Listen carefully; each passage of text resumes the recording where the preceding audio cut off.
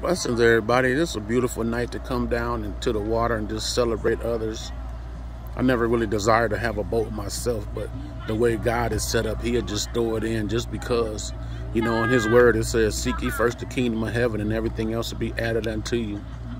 That's why it's so important to not be jealous and envious of others, because it's like you can have that too when you put yourself in position.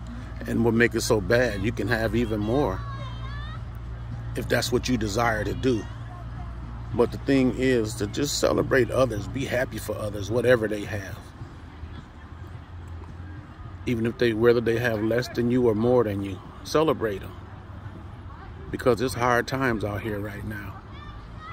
And a lot of people are just, should be glad just to be alive. But, you know, when you celebrate other people, that makes them feel that much more better about themselves because we need to do all we can to comfort others with the comfort that we have received from God. And so when you celebrate others, that's a level of comfort that people is given from you. So I just want to share that real quick. Peace.